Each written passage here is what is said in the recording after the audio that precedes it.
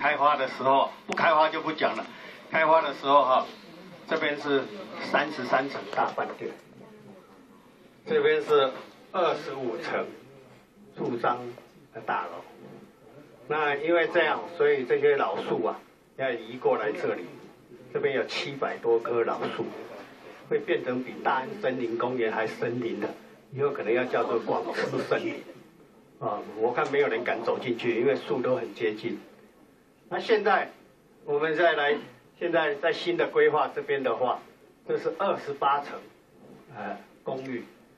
啊，我们旁边的那个君悦大饭店是二十七层。啊，我今天是代表，呃。在第四十七页哈，编号五十一号，呃，大人里的居民洪敏忠，还有中那个台北市信义安全与健康协进会公共安全场域召集委员会，呃，召集呃委员会召集人。我这里面的建议最重要的就是说，第一个，我们这个停车的问题会非常严重。刚才都发局在报告的时候是说，我们这个呃，因为住在公营住宅的人呐。停车需求不多，那是以前的故事了。如果我们这个一一千五百户是给年轻人住的话，年轻人买不起房子啊，但是车子一定会买的。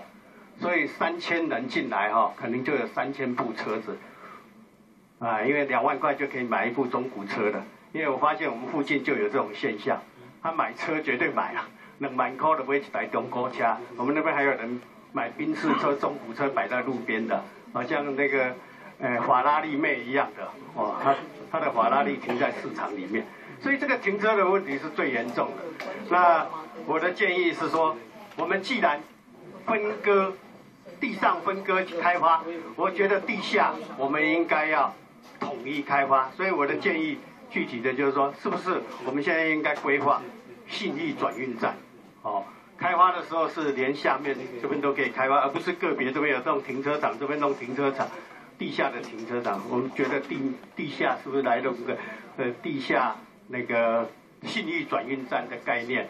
还有这个地方，呃，既然大家反对这么多人增加那么多哈，我想副市长是不是来弄一个信义哈计划里的概念，要独立一个里来开发新的集合式住宅哈，在这边能够成型。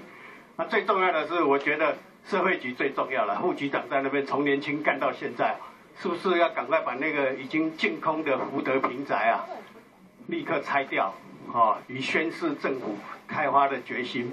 不然很多人还在那边，说你是今天要给啊，摆在那么久了都进空了啊。谢谢各位。好，谢谢。我们还有最后一位，这个对不起，刚吴国寿先，最后一位，好不好？这样，谢谢。